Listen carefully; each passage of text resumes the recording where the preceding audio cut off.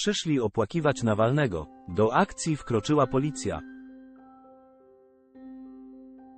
Aleksiej Nawalny, rosyjski opozycjonista, zmarł w piątek 16 lutego w kolonii karnej.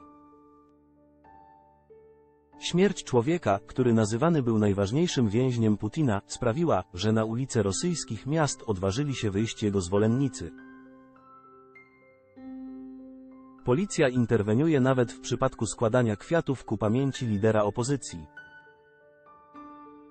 Trudno uwierzyć w to, czym stała się współczesna Rosja. Przestrzeganie praw człowieka nigdy co prawda nie należało do standardów kolejnych wcieleń rosyjskiego imperium, ale to, co dzieje się tam od rozpoczęcia pełnoskalowej inwazji na Ukrainę, spycha ten kraj w odmęty totalitaryzmu, porównywalnego chyba tylko z okresem stalinizmu.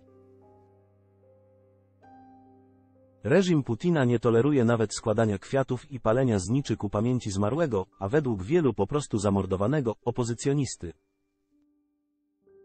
Policja zatrzymuje zwolenników Nawalnego pod ścianą boleści w Moskwie.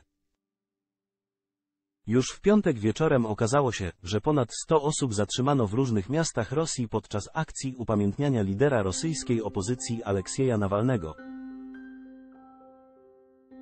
Wcześniej niezależne rosyjskie media powiadomiły o zatrzymaniu około 40 osób w Moskwie, Petersburgu i Niżnym Nowogrodzie.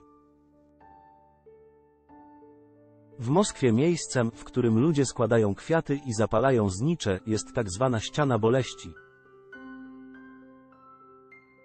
To monumentalny pomnik z dwustronną płaskorzeźbę z brązu przedstawiającą około 500 abstrakcyjnych postaci.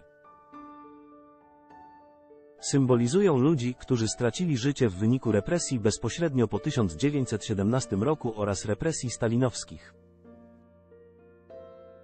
Według agencji Reutera setki kwiatów i zniczy złożonych tam w piątek w większości wywieziono w ciągu nocy w czarnych workach. W sobotę zwolennicy Nawalnego w dalszym ciągu pojawiają się pod ścianą płaczu. Jak pokazują filmy zdjęcia, wykonane około godzina 15 ludzie zatrzymywani są przez policję. Podobne sceny rozgrywają się w Petersburgu. Śmierć opozycjonisty w styczniu bieżącego roku minęły trzy lata, odkąd Nawalny został aresztowany i uwięziony po powrocie do Rosji z Niemiec, gdzie leczył się po próbie otrucia, przeprowadzonej najpewniej przez rosyjskie służby specjalne. Władze wszczęły wobec niego kolejne sprawy karne, skutkujące wyrokami przewidującymi łącznie ponad 30 lat pozbawienia wolności.